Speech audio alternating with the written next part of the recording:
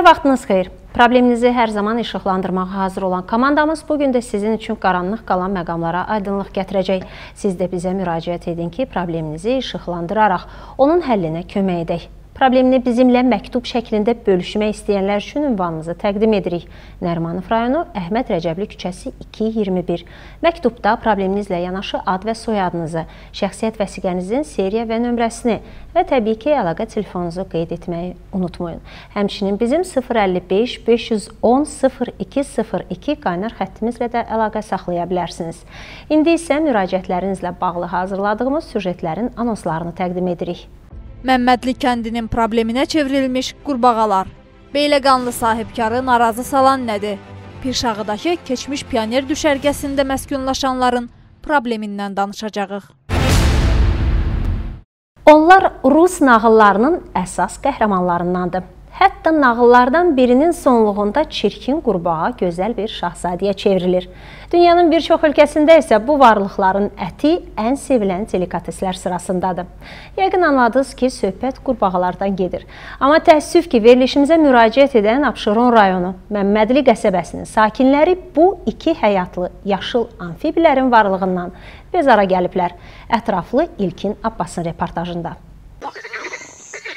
Gördüyünüz bu ərazidə insandan çox qurbağa yaşayır desək yanılmarıq. Söhbət Abşeron rayonu Məmmədli qəsəbəsində Yeni məhəllə adlanan ərazidən gedir. Buranın sakinlərinin problemi də elə qurbağalarla bağlıdır. Bəli, bəli, qurbağalar. Bəlkə də ilk baxışdan bu problem kiminsə dodağının qaçmasına, hətta gülüşünə səbəb ola bilər. Amma burada yaşayanlar üçün qurbağaların çoxluğu heç də gülməklə üstündən keçəcək hadisə deyil. Sakinlərin sözlərinə görə sübh tezdən həyət və məhəlləyə düşmək mümkünsüzdür. Səbəbi isə səhər tezdən toplu halında olan qurbağaların hərəkəti məhdudlaşdırmasıdır. Qurbağalar zətlər baş alıb gedib. Həyətimiz inanırsınız ki, doludur qurbağalarla. Balaca-balaca qurbağalar da özü mümkün deyil. Addım ata bilmirik biz heç cürə.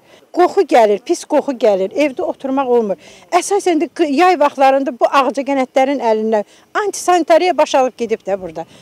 Ağcaqanadların əlindən heç ümumiyyətlə biz nəfəs ala bilmirik. Gözümüzün içinə girir ağcaqanad. Qurbağaların bir şeyindən qorxuruq ki biz. Uşaq aldı ağzına, onda nə olacaq?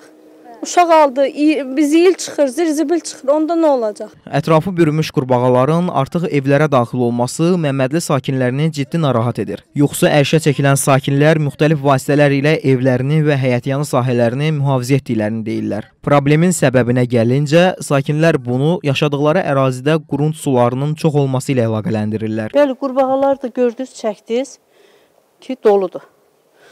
Qurunt sularının nəticəsində dolur, çirkab suları. İndi də quruyub qurbağalar üzdədir hamısı.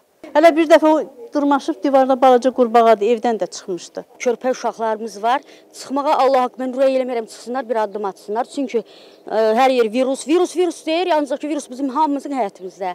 Qurbağadakı sab sabah ə, e, axşam ə, e, mən gəlim çölə çıxmır qorxusundan ki, qurbağa ayağımın altında qalacaq. Elə mən özüm olum.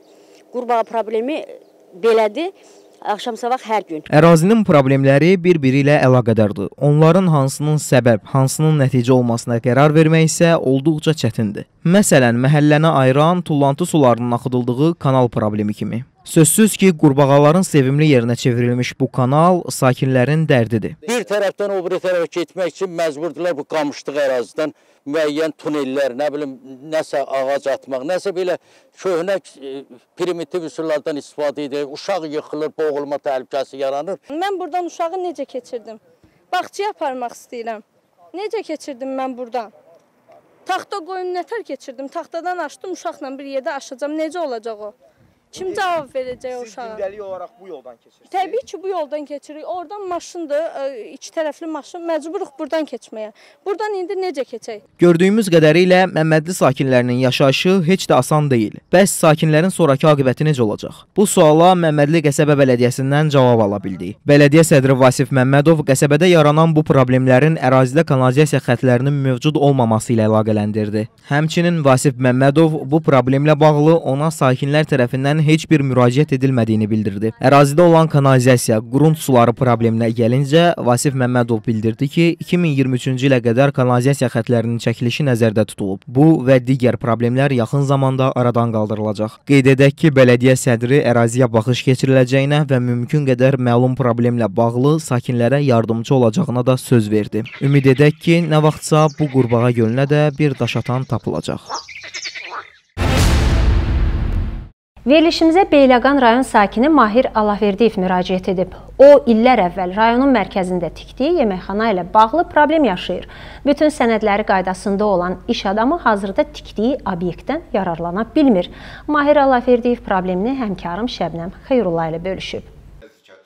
Beyləqan rayon sakini Mahir Allahverdiyev milli qəhrəman Namiq Allahverdiyevin qardaşıdır. Vaxtilə özü də 1-ci Qarabağ müharibəsində iştirak edib. 2007-ci ildə sahibkarlıqla məşğul olmaq istəyən müharibə veteranı bunun üçün torpaq sahəsi alıb. Həmin ərazidə yeməkxana binasının əsasını qoyur. Müsahibimiz qeyd edir ki, işə başlarkən bütün sənədləri qaydasında olub və bu baxımdan heç bir problemi yoxdur. Amma 2010-cu ildə baş verən bir hadisə sahibkarın planlarını yarıda qoyur. 2010-cu ildə bu dövlət sərhədməsi gəldi mənim qonşuluма düşdü, hərbi aerodroma. Deməli, yerimə müdaxilə elədilər. Mənlə onların arası 120 metr həm sərhəd. 6 metr enində, 4 metr dərində kanal qazıb torpağın hamısını tökdülər mənim yerimə. Demək ki, 120-130 şaqman maşını belə deyək. 25-30 kuba yaxın torpaq töküldü hər bir metrə. 2012-ci ildə kredit götürüb bu yeri təzədən bərpa elədim ki, işləyəm. Mənə bildilər ki, bu yer verilib dövlət sərhəd xidmətinə. Belə qanan icra hakimiyyətinə. Bir gecənin içində dağıtdılar, bir an günə qoydular, dedilər, çıx ki, buradan, bura bizə verilib. Yəni, burada bütün hüquqi sənədlərim var. Başçının qərarı, sərəncamı, torpağın ayrılması haqqında, İkinci razılıq aktı, kupsam, tek pasportum. Sadəcə olaraq yararsız torpaq olduğuna görə əkinə yararsız. Oran verirlər mənə istifadə üçün. Məsələni adı çəkilən qurum Dövlət Sərhəd Xidməti ilə aydınlaşdırmaq qərarına gəldik. Qurumdan bildirildi ki, vətəndaş Mahir Allahverdiyevin içərisində qeyri-yaşayış binası, yeməkxana olan Beyləqan aerodromunun ərazisi ilə həm sərhəd torpaq sahəsi Dövlət Sərhəd Xidməti tərəfindən torpaqların dövlət ehtiyacları üçün alınması haqqında Azərbaycan Respublikasının qanununa əsasən əsasən sərhəd mühafizə orqanlarının istifadəsi üçün alınmadığından hər hansı kompensasiyanın ödənilməsi Dövlət Sərhəd Xidmətinin səlahiyyətlərinə aid deyil. Onu da əlavə etdilər ki, Mahir Allahverdiyevin bununla bağlı əvvəlki dövrdə müraciətlərinə Dövlət Sərhəd Xidməti tərəfindən əsaslandırılmış cavab məktubları göndərilib. Eyni zamanda Beyləqan rayon icra hakimiyyəti ilə də əlaqə saxladıq. Oradan bizə bildirildi ki, Mahir Allahverdiyevin sənədləri həqiqətən də qaydasındadır. Vətəndaşa problemi ilə bağlı məhkəməyə müraciət etmək tövsiyə edildi. Problem verilişinə baxırsınız, Azərbaycanın müxtəlif bölgələrində yaşayan vətəndaşlarımız üzləşdiyi problemi anındaca telefonlarının kamerasına çəkərək verilişimizin 055 510 0202 qaynar xəttinin WhatsApp-ına göndərə bilərlər. Əminəm ki, indi verilişimizə baxan tamaşaçılar sırasında illər öncə yay tətili günlərini Qarabağ Pioner İdman düşərgəsində keçirənlər var. Təəssüf ki, bir əsrdən çox yaşı olan həmin düşərgənin binası bugün qəzalı vəziyyətdədir. Burada məskunlaşan məcburi köçkünlər isə ölümün bir addımlığında olduğunu iddia edirlər. Ətraflı növbəti reportajımızda.